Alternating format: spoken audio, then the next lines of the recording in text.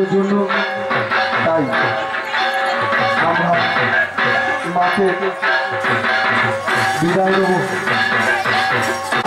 আমাদের এলাকা সবসময় সুরক্ষিত রাখার চেষ্টা করবে, যাতে এলাকায় কোনো পথে পদার্পণ করেছে চুরিয়া মাতৃভূমি সেবা পক্ষ থেকে সমস্ত গ্রামবাসীকে জানাই বিজয়